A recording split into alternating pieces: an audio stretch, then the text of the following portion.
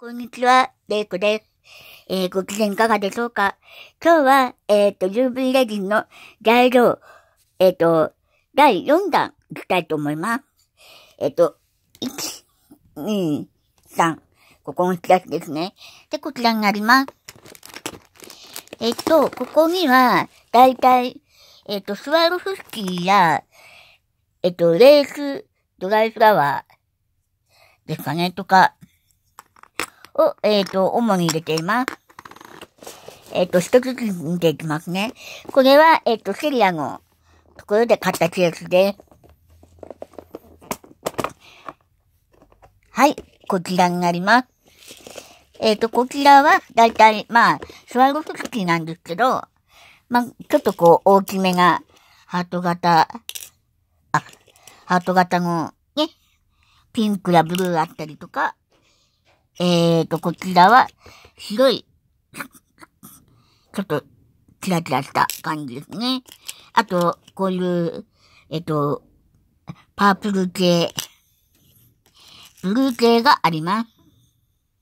はい、えーと、それと、これ紫なんですけど、すんごい小さい、小さい、1ミリ ?1 ミリぐらいかな。でも結構ね、ちょっとこう、レジの上に乗せると、キラキラ光るんですよ。で、薄い紫。結構キラキラしてますね。はい。と、こちらはちょっと小さめの紫です。こちらは一番小さいやつ。で、ここは、えっ、ー、と、オーロラ、オーロラの、えっ、ー、と、あの、スワロフスキーですね。はい。こんな大きいの何に使うんだろうと思うんですけど、こちらが、えー、オーロラ、小さいサイズ。で、こちらが、えっ、ー、と、オレンジ系のスワロフスキーですね。で、こちらがちょっと濃い水色になるんですけど、私結構この色が好きなんですよね。結構この色好きです。で、あとホワイト。ホワイトのスワロフスキーですね。で、ここにも、まあ、ちょっと小さめやつぐらい。あと、まあ、ちょっと小さめ。で、一番小さい。一番小さいのがいっぱいあるんですけど。で、薄い水色。スワロフスキーが入ってますね。で、濃いピンク。で、薄ピンク。で、まあちょっとブルー系の、ブルー系のススワロフスキーが入ってます。はい、えーと、これは小さいの。で、これは、えーと、多分、薄いピンクかな？薄いピンクのスワロフスキーで、多分このサイズは1ミリぐらいかなと思います。はい、次に行きます。2段目。えっ、と、2段目も同じスワロフスキーとか、あとビズとかも入ってます。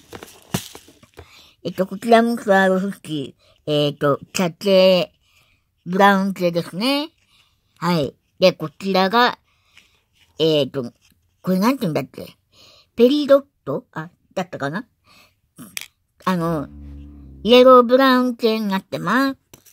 で、こちらが第9ショートあります。で、こちらが、これも、えっ、ー、と、ちょっとグ、イエローブラウン、イエローグリーンですかね。なってますね。で、こちらも第9章となってます。で、こちらが、ちょっと赤系の小さいサイズなんですけど、スワロフスキーです。はい、こちらがグリーン。結構濃いグリーンですね。で、これが、えっ、ー、と、なんかガラスでできた、スワ、オーロラのスワロフスキーなんですけど、こちらはヤフオークションで買ったんですけど、ちょっと失敗しました。うん、ちょっとこれは、あれかな？でも、あれかなっていう説明が下手なんですけど。で、こちらが、えっ、ー、と、四角い、四角いやつですね。こピンク、水色とか、いろいろいろいろ入ってるんですけど。で、こちらは、あの、ビーズとビーズの間をつなげることができる丸カン付きですね。丸カン付きになってます。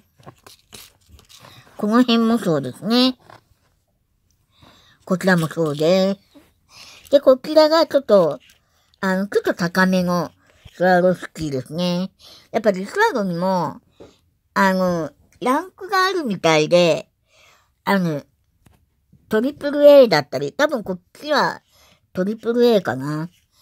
で、これもスワロフスキ、うん、ブラウン系。なんかいろいろあるんで、これは、これはね、どこ、あの、どこで買ったっていうのがわかるように、あの、な、名札を入れてるんですけど、これは湯沢屋で買ったやつです。なので、湯沢屋の名札を入れておきます。で、こちらが薄ピンク。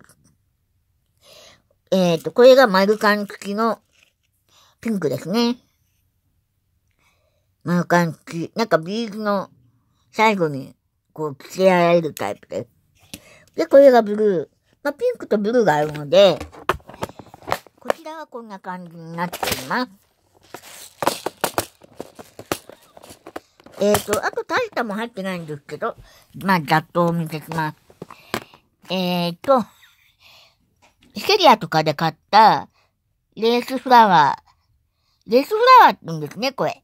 えっ、と、これ、えっ、と、セリアで買うと、えっ、と、一番最初に、こういうケースであの、売ってると思うんですけど、ちょっとこのケースが使いにくいのと、あとレース自体が曲がってしまっているので、ちょっと伸ばすために、ためにも、この丸いケースに入れています。ま濃いブルー、黄色、緑、ちょっとグリーン、ブルーグリーンみたいな感じですかね。で、ピン、薄いピンク、えー、濃いピンク、えー、パープルかなで、えっ、ー、と、オレンジ。この間、キレク作った時に、これを使いました。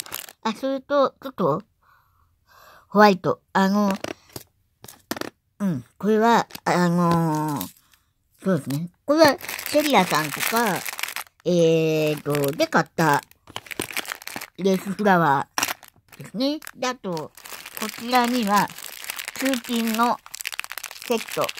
えっ、ー、と、これもちょっとヤフーで買ったんですけど、通勤のシルバーとゴーゴールドと、あと、こちらが、あの、白銀？白銀でこっちがシルバーになってます。はい。で、これが、えっ、ー、と、よくアメリカンピアスにつけている、えっ、ー、と、落下防止用のシリコン留め金です。はい。で、こちらには、テーピン、シルバーとゴールド。あと、えっ、ー、と、セリアとかで買った、えっ、ー、と、チェーンとか、ゴールドとシルバーのチェーン。